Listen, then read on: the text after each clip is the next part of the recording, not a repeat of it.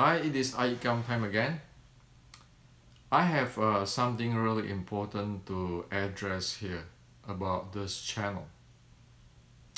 I have just blocked a few viewers from these channels because they comment or asking me about which part of human to strike.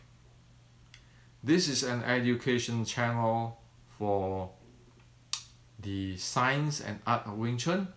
This is not a channel to discuss on uh, where human get struck.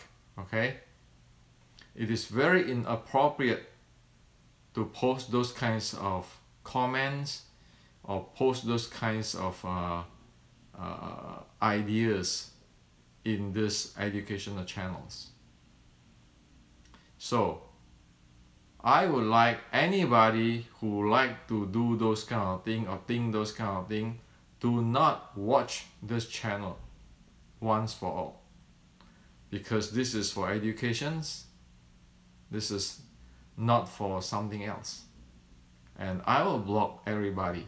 It it doesn't matter if it's 1000 people I have to block because this is for educations so I uh, let everybody know this is the rule of this channel.